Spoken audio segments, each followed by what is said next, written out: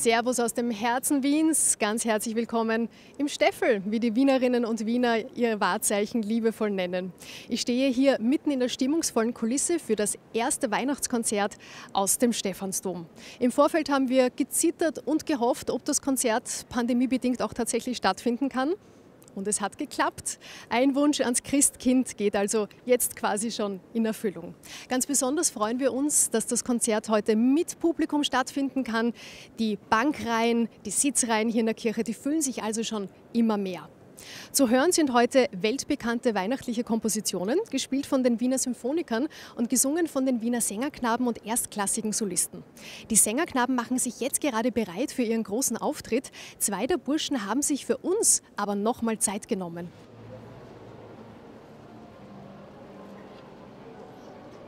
Die Sängerknaben sind eine Institution des Wiener Musiklebens und sie blicken auf eine bereits über 500 Jahre alte Geschichte zurück.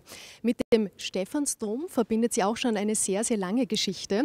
Bereits im Jahr 1515 haben die Sängerknaben hier als kaiserlicher Chor Hochzeiten der Habsburger begleitet.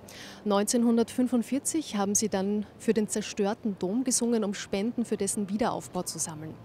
Zwei der Wiener Sängerknaben, die heute auftreten, haben sich noch für uns Zeit genommen. Ich freue mich sehr. Hallo Musti, hallo Gabriel, danke, dass ich euch noch ein paar Fragen stellen darf. Sagt mal, jetzt geht's gleich los. Wie groß ist denn gerade die Aufregung bei euch, Musti? Ich bin schon sehr aufgeregt. Ja, wie fühlt sich das an? Es fühlt sich ähm, toll an, weil ganz viele verschiedene Eindrücke bei dir sind. Gabriel, du hast ja hier schon im Stephansdom gesungen. Wie ist die Aufregung bei dir gerade? Noch immer ziemlich groß weil es ist ja nicht so oft, dass man beim Stephansdom singt. Normalerweise habt ihr ja sehr viele Auftritte im Kalender stehen. Pandemiebedingt konntet ihr heuer nicht so viel öffentlich singen. Was bedeutet euch denn dieser Abend hier, wo das Konzert tatsächlich stattfinden kann? Sehr viel, weil wegen Corona halt nicht so viele Auftritte. Kommt deine Familie heute zum Zuschauen? Ja, schon. Uh, dann ist es ganz besonders aufregend. Mhm. Wie ist das bei dir, Musti? Uh, meine Familie schaut sich das daheim an. Sehr gut. Ja. Deshalb zeichnen wir es heute dann auch auf, ganz ja. genau. Verratet ihr mir, wie viel Proben und Üben stecken denn in diesem Weihnachtskonzert? Im Normalfall proben wir in der Schule zwei Stunden am Tag und dann kommen ja auch noch mal ein bis zwei Stunden dazu. Hm, das seid ihr sehr, sehr fleißig.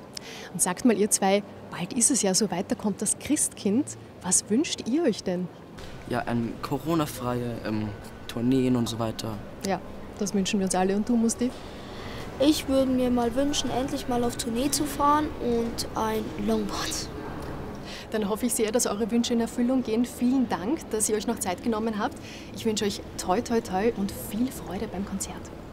Die Wiener Sängerknaben, die Wiener Symphoniker unter der Leitung von Dirigent David Afkam und der Männerchor Vienensis, in dem nur ehemalige Sängerknaben singen, die machen sich jetzt gerade bereit für ihre Auftritte. Den feierlichen Auftakt macht ein Auszug aus dem Weihnachtsoratorium von Johann Sebastian Bach, eines der beliebtesten und am häufigsten gespielten Werke dieses Komponisten. Es handelt von der Geburt Jesu Christi im Stall zu Bethlehem und Sie hören es jetzt im Wiener Stephansdom. Ganz viel Freude mit Jauch jauchzet, frohlocket.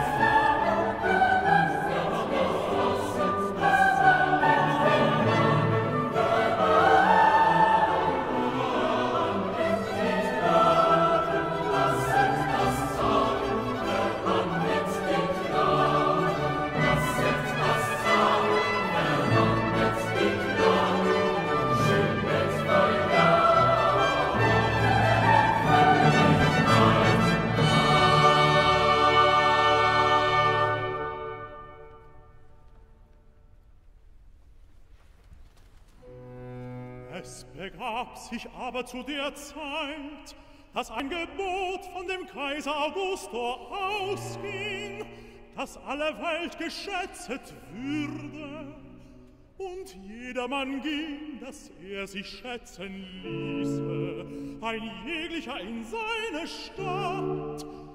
Da machte sich auch auf Josef aus der Stadt Nazareth, in das jüdische Land, zur Stadt David, die da heißet Bethlehem. Darum, dass er von dem Hause und Geschlechte Davids war, auf das er sich schätzen ließe mit Maria, seinem vertrauten Weib, die war schwanger. Und als sie da selbst waren, kam die Zeit, dass sie gebären sollte.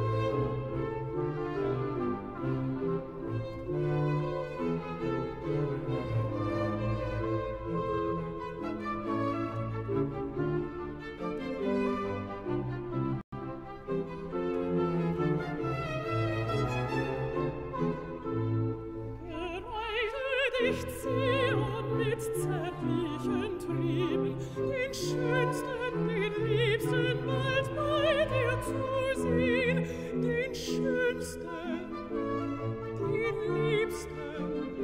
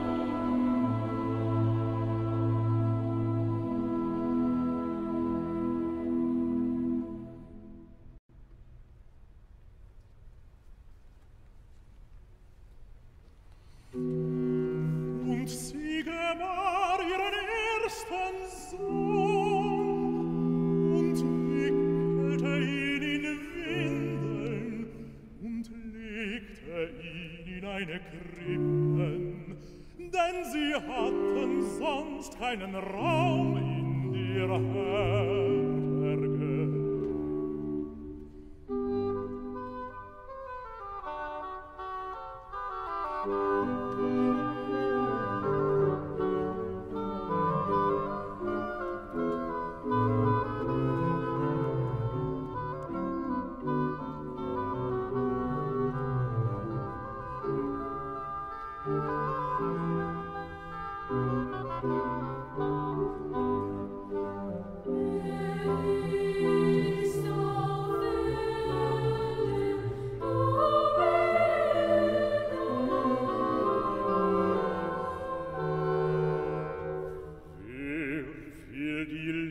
rechter Höh, die unser Heiland vor uns hielt.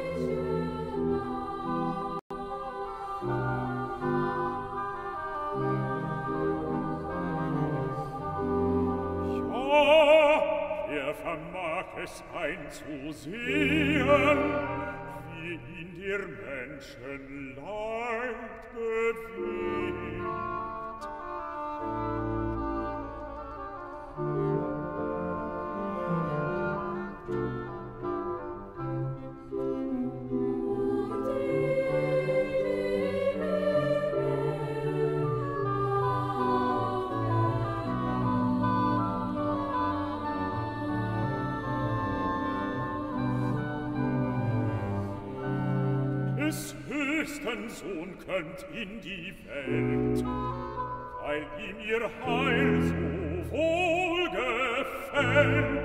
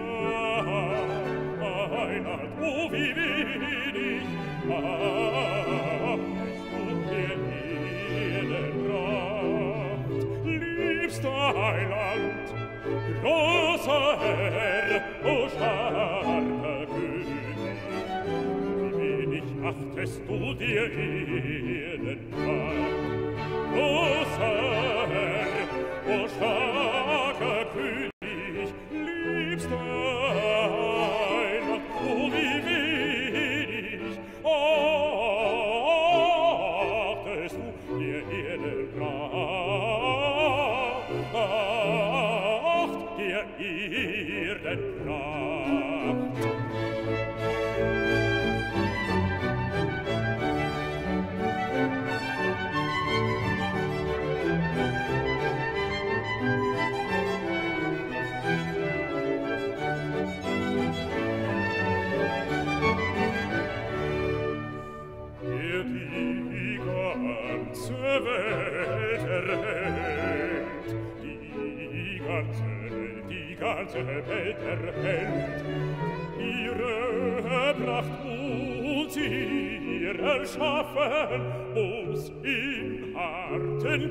Mensch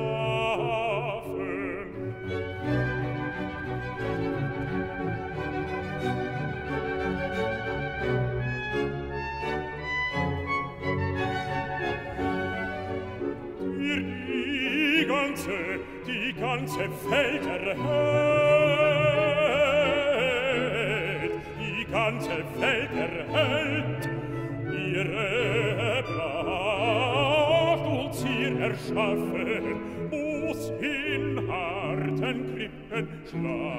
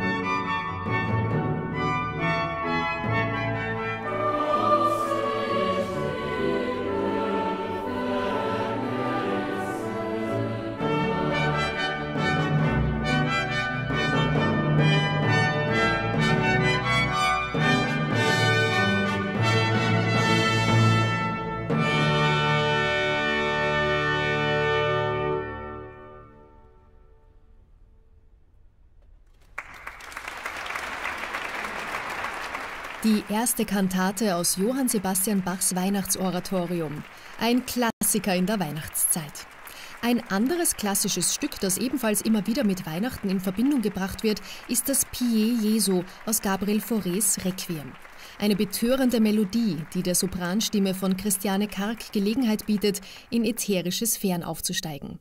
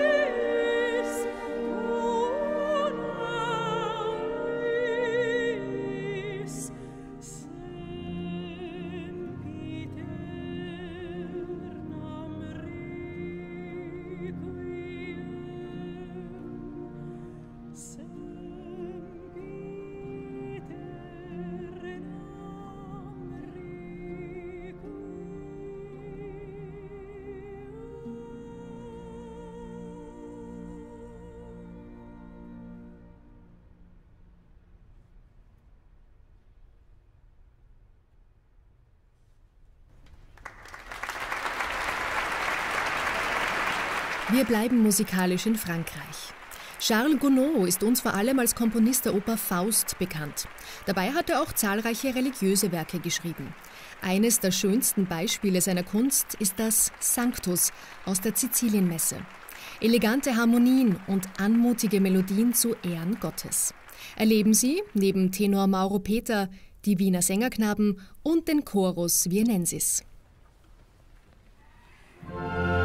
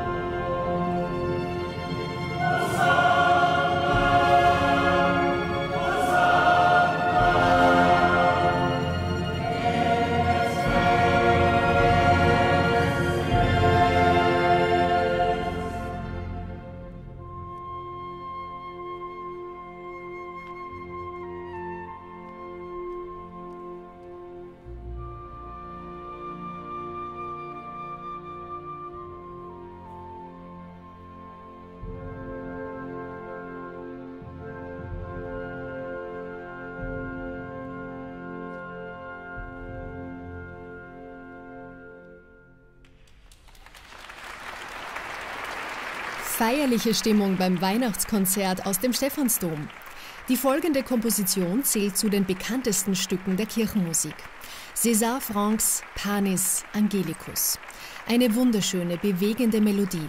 Mezzosopran Catriona Morrison singt die Worte Das Engelsbrot wird Brot der Menschen. Hören Sie anschließend eine von Gabriel Fauré vertonte innige Bitte an Christus als Erlöser.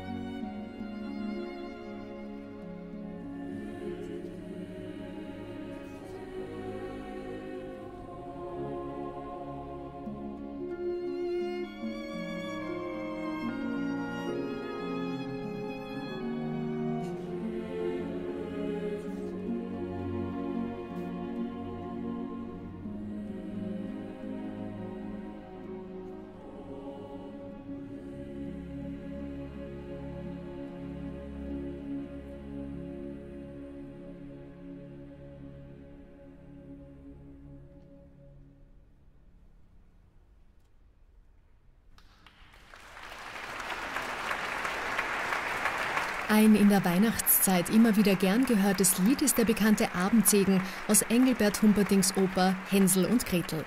Ein Duett von betörender Schönheit, gesungen von den beiden Sopranen dieses Weihnachtskonzerts Christiane Karg und Catriona Morrison.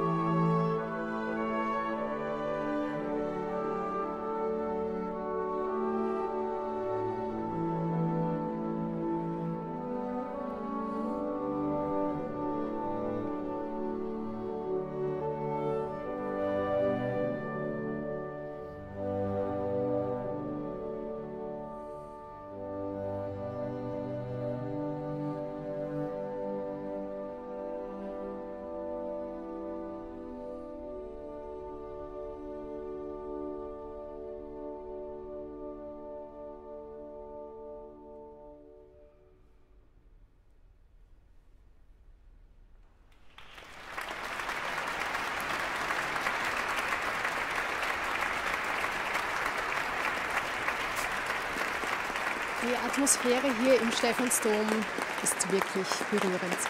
Meine Damen und Herren, ich hoffe, es hat Ihnen mindestens genauso gut gefallen wie dem Publikum hier vor Ort. Wenn Sie das Weihnachtskonzert noch einmal nachhören und schauen wollen, dann haben Sie gerne online dazu Gelegenheit unter www.servustv.com. Ich darf mich an dieser Stelle fürs Zusehen bedanken. Ganz am Ende angekommen sind wir aber noch nicht, denn jetzt ertönt gleich noch eines der populärsten Weihnachtslieder. Es wird auf der ganzen Welt gesungen, und zwar in unterschiedlichsten Fassungen. Bei uns hören Sie es nun auf Latein. Ich wünsche noch einen wundervollen Abend und eine schöne Weihnachtszeit mit Adeste Fidelis.